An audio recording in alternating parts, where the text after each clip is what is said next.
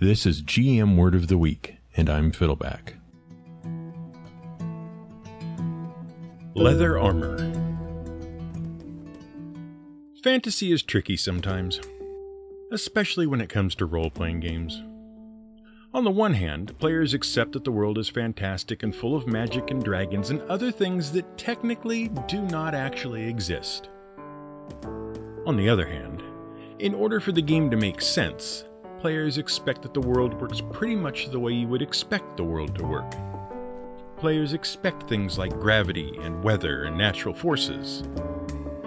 And, as the players of role playing games are generally a pretty savvy and well educated lot, their expectations about the nature of the world can be pretty sophisticated.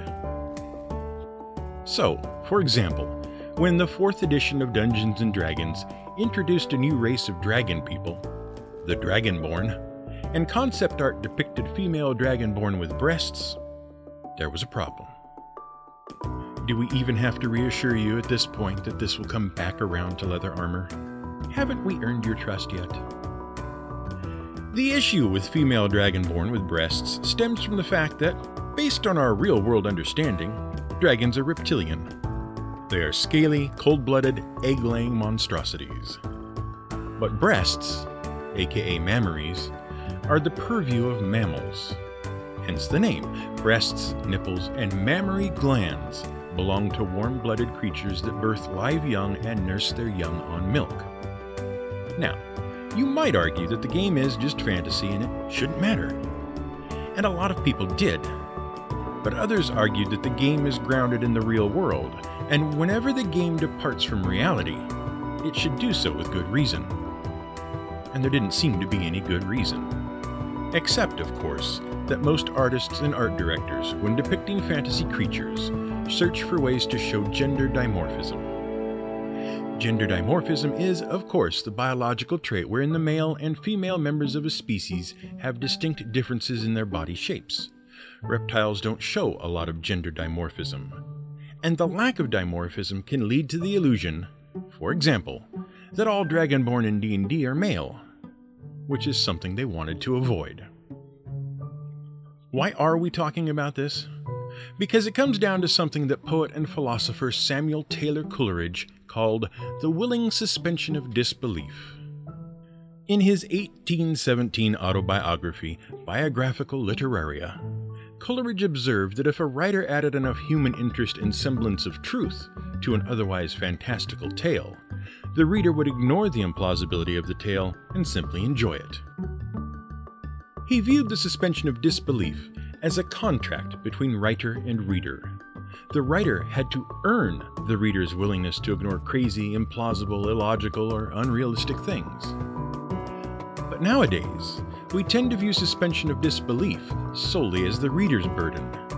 If the reader wants to enjoy a piece of fiction, they sure as hell had better be ready to accept it as fiction. And so, the great dragon boob debate really came down to a two century old argument about who really took responsibility for suspension of disbelief the reader or the author. But there's another side to this whole thing. There's another term. And that's the one that connects us to the weird world of non existent armor. Yes, that's right. Non existent armor. And we're going to prematurely apologize to all of the rogues and rangers out there for taking away your armor. In the 1970s, a theory emerged among sci fi authors called the theory of cognitive estrangement. It was related to the willing suspension of disbelief, but it was a little different. Initially, the term referred to the idea that if you introduced a plot device that explained a difference between your fantastical world and the real world, and if your fantastical world and the real world were close enough to each other, suspension of disbelief became easier.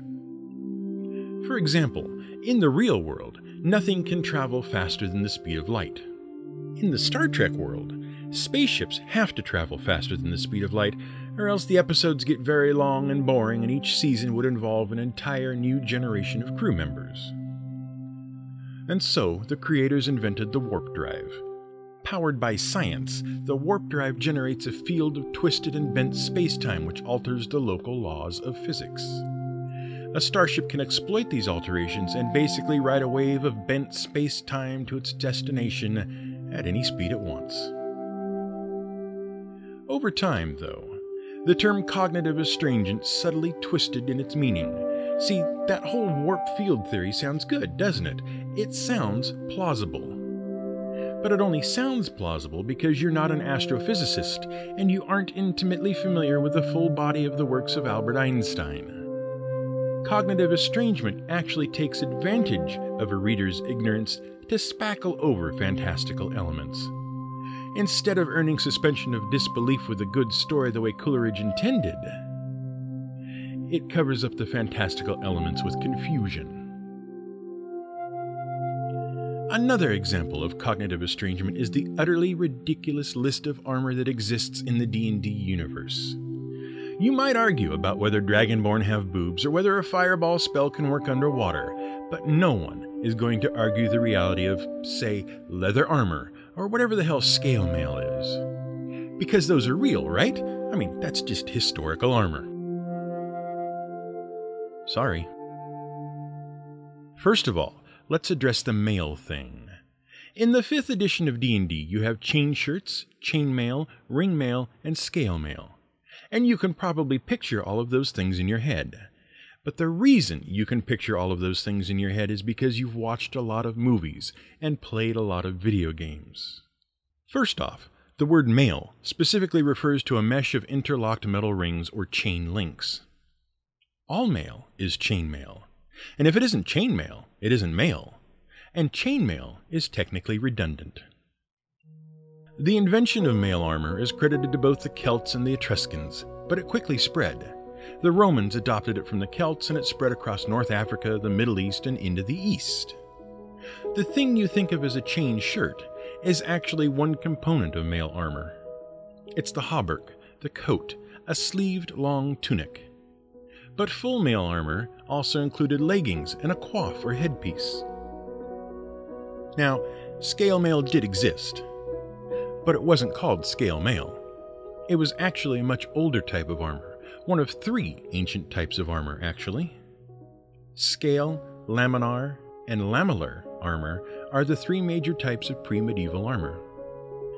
Scale armor consisted of small plates or scales, like a dragon's or a fish's, sewn to a backing of cloth or leather in overlapping rows. Remember that, we're coming back to it. As for ring mail, no one is quite sure if that existed. Traditionally, it is seen as a version of scale armor, except instead of scales, metal rings are sewn into the backing.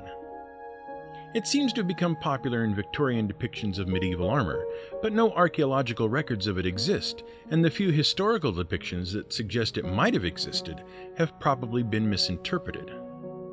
However, ringmail did gain some popularity in film because mail armor doesn't look good on screen.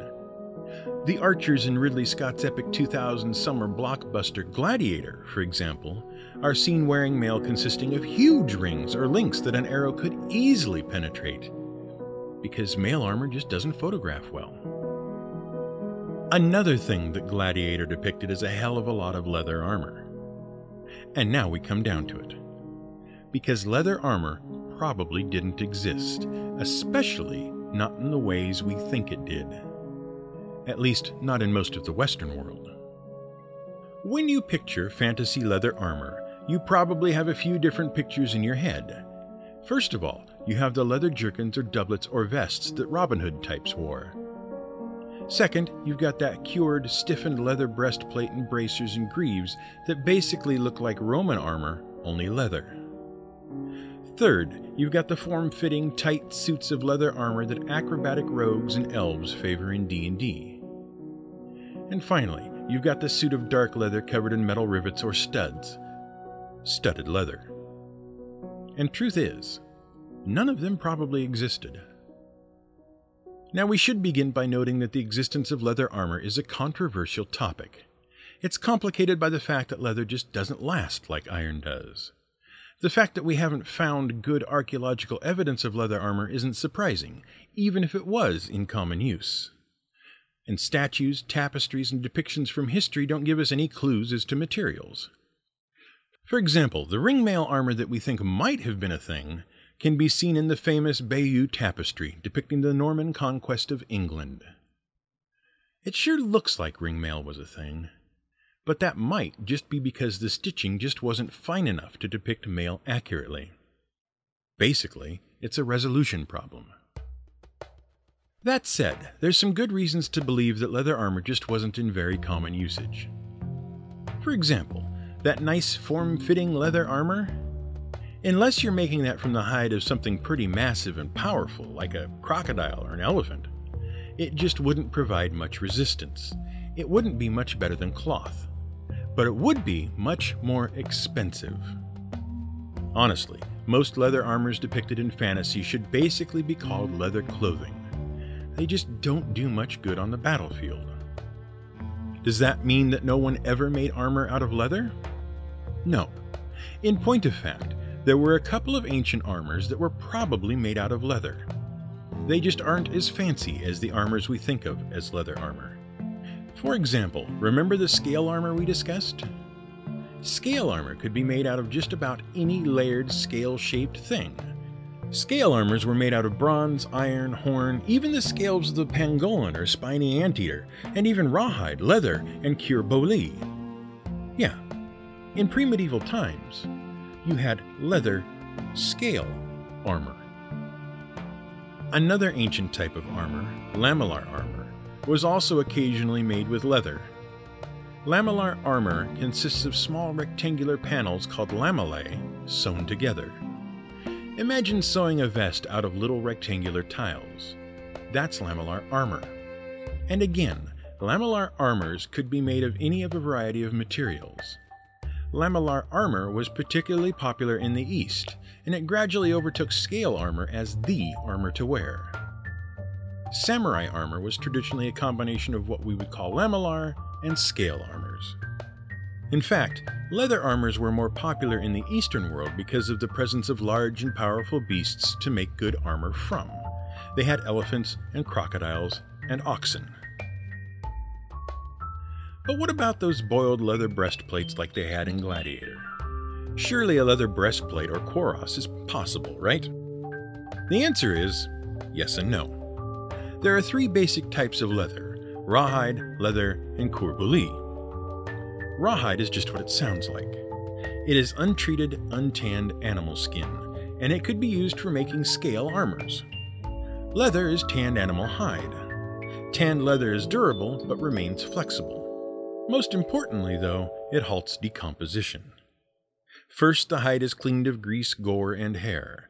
Then it is soaked in a mixture of water and a preservative like urine or lime. Then the hide would be pounded with dung or animal brains, usually with the bare hands or feet. And then they would be treated with salt to complete the tanning process. Because of the combination of rotting flesh, dung, fat, grease, and urine, tanning was the most foul smelling of all medieval industries. It was usually banned from cities or limited to the very edges of settlements. It also employed a lot of child labor. Children would be paid to gather dung and also to collect urine from public piss pots. That's their word for it, not ours. For use in the tanning process. As for cuir bouilli, well, if you wanted to make the leather stiffer and more durable, you could take it and boil it. Often wax or oil were added to further harden the leather. After being removed from the solution, the leather remained flexible briefly and could be molded into a shape. And then it would stiffen and retain that shape. Boiled leather, cuir was occasionally used to make small armor segments like arm and leg protection. And plates of it were used to make lamellar or scale armor. But the idea of a breastplate or larger armor piece made of boiled leather probably wouldn't work because of the size of the leather pieces needed for the construction. Now, what about studded leather armor? It's easy enough to assume that poor depictions and poor archaeological records have led us to misunderstand how leather armors might be made. But studded leather armor seems to be a complete fabrication. Even if you could make an awesome suit of supremely protective, form-fitting leather armor, why would you put rivets through it at all? Well, our best guess is that studded leather armor came about because of depictions of brigandine armor. Brigandine armor was a transitional armor. It existed between the eras of scale, laminar, and lamellar armor and the mail and plate armor era. Essentially, it consisted of a sleeveless doublet or vest with armor plates riveted to it. Often the plates would be riveted between two layers of stout cloth or leather. So, from the outside, it might look like a riveted coat of cloth or leather, but inside were plates of leather or thin metal. But why didn't lamellar or scale leather armor survive into the medieval period? After all, mail and plate armors were expensive. Well, there was another option. D&D calls it padded armor. In reality, it was the gambeson, the padded jack, or the arming doublet. It was essentially a quilted jacket made of stiff cloth or canvas and stuffed with scrap cloth or horsehair. It was surprisingly resistant. It could be worn on its own as a poor man's hauberk, or it could be worn underneath mail or plate armor. And it was cheaper and easier to make than lamellar or scale armors made of leather and offered similar protection. In short, no one was going to wear leather armor when a gambeson was just as good but cheaper and easier. In point of fact, the tradition of sewing large buttons or metal discs onto a gambeson as decoration may also have led to the misunderstanding of studded leather armor. So, how can you use this in your game? Well, you could take out all the leather armor and the ring mail and whatever the hell splint is supposed to be, but that's hardly useful. This stuff is just fun to know, and there's no good reason to tell rogues they can't look cool. The more useful lesson is the lesson about cognitive estrangement and suspension of disbelief. The fact is that no creator or game master can take suspension of disbelief for granted. Every player or reader is different. Some will happily accept non existent armor and dragon boobs, and others will balk. Some will accept fireball spells but scoff the moment they work underwater. And the players aren't wrong. The readers aren't wrong. The burden is, as Samuel Taylor Coleridge observed, on the creator to make the story so engaging that the audience won't notice or care about the inconsistencies. This has been the GM Word of the Week. It was written by the Angry GM and recorded and produced by me, Fiddleback. You can find more at theangrygm.com and madadventurers.com.